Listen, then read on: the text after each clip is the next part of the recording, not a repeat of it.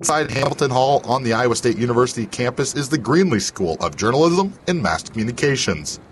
One of the most important things to a journalist is the rights provided by the First Amendment. Every year, the Greenlee School takes a day to celebrate these freedoms, and Greenlee School Director Michael Bugeja explains what First Amendment Day actually is.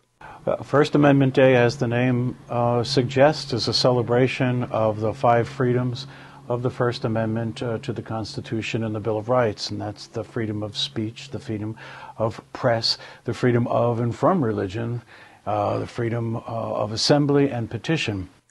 This year, Iowa State was one of five schools chosen to win a grant to plant a Liberty tree on Central Campus. I thought it was uh, fair and, and correct uh, winning of, of that award because we we have the longest sustained First Amendment Day. One of the longest running traditions of First Amendment Day is the Freedom March from Ames City Hall to the steps of Beardshear. And that type of uh, display, uh, really celebrating our rights of assembly and, and even petition on campus. The United States as a whole has a high level of free expression, and Dr. Bola believes that's why some international students choose to come to school here. They admire the United States' approach to, to freedom of expression.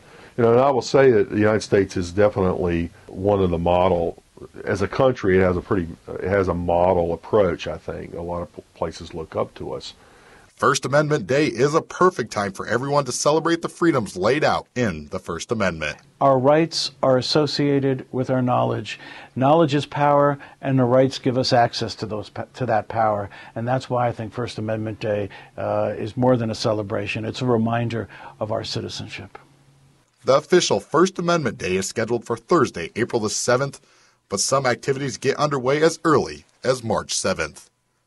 Reporting for ISU TV with Kevin Shay and Alec Burns, I'm Aaron Bauer.